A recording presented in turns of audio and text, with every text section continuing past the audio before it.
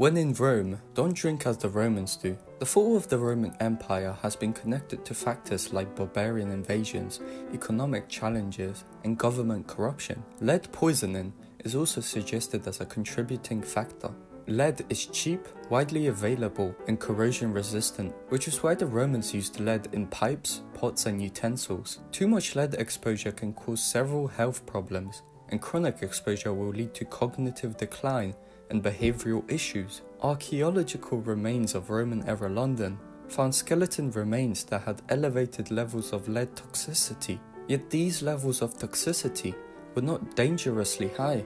Classical writers, Pliny the Elder and Vitruvius, acknowledged the adverse effects of lead exposure, but the knowledge of its chronic effects were limited. Many modern historians agree that lead exposure played a pivotal role in the fall of the Roman Empire is exaggerated. It remains an intriguing hypothesis.